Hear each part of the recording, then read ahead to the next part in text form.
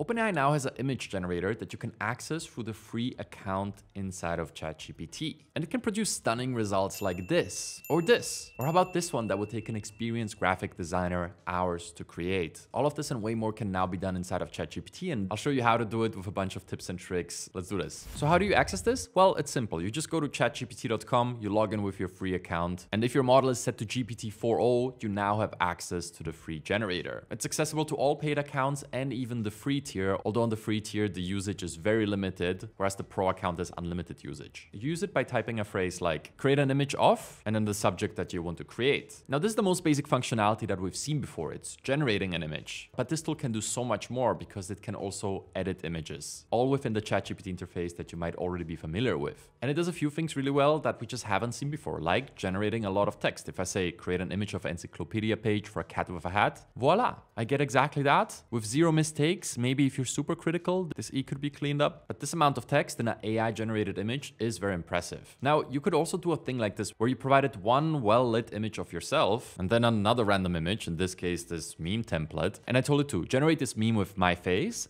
and the questions being something that makes fun of a 30 year old deciding between multiple hard life choices. And then it came up with this. As you can see, it used the power of ChatGPT to generate the question, the funny answers, and it transferred me into this quite popular meme on the internet. Impressive, but there's more. Because as I mentioned, this is not just about generation, this is also about editing the images you already get. So if I look at the encyclopedia entry of this cat with a hat and I continue by following up, add more images and some lore, and it just ends up doing exactly that. Now, I didn't end there. I also said extend this into a double page A3 with a lot of details and various sections. Voila, now I have different sections, even more images. But if you look closely, you will find some mistakes here and there. And that's why I followed up a few more times with specific details I want to see there or specific mistakes I spotted. And as you can see here, here it says sightings and site tank. And I wanted to correct that and it actually did. So this might not be 100% perfect once you start doing this much text, but between one word and one to two paragraphs, it really nails it reliably. Now, beyond that, we have more editing capabilities. One of the basic ones that has been a thing in generative AI for a while now is restyling images. So if I give it the screenshot and I tell it to turn this into a Studio Ghibli style image, it will turn you into a Japanese anime character in seconds. And then you have a thread in which you can upload any image and say something like, now this, and it will do that too. If you're not familiar, this is a morning routine meme that's all over the internet right now. If you know, you know. But it doesn't end there because we have the power of ChatGPT at our disposal here too. Write copy and ideate, we can go further and give it an image from NASA of an astronaut on the moon and say, now this, but turn it into an inspirational poster. And there you go, a Studio Ghibli style inspirational poster with custom text that works. And what did this take? A few words and some random images from the internet to arrive at this. Now I want to leave you with one more example that really shows the potential of this tool. And that's giving it some ads that have worked well previously and redoing them with your very own product or service. And I told it, generate an ad image in the style of the old Apple ads for a generative AI learning community named AI Advantage Community beauty. And I wanted to see how it redoes these ads for main offering at the AI Advantage. And look at that, right away it came back with an image where it refilled the poster, kept some of the copy, certainly kept the layout, and even added the Apple logo down here. Now, obviously I don't want the Apple logo there, but because this is inside of ChatGPT, you can just keep talking to it like you would to a graphic designer that you're working with. So I told it, remove the Apple logo and add the link, and then I pasted the URL. And it did exactly that. Now, admittedly, the original design actually looked better, but it followed my instructions and did what I wanted it to do. And because this is LLM, I can tell it things like, make it more aesthetic and just give it a shot at coming up with something better. Up until now, with every image generator, you had to tell it exactly what change change you want. You didn't have the freedom and carelessness that having ChatGPT built into this image creation tool brings. Look at that. This choice of color is just better and I didn't even have to tell it how to improve it. I let ChatGPT figure that out for me.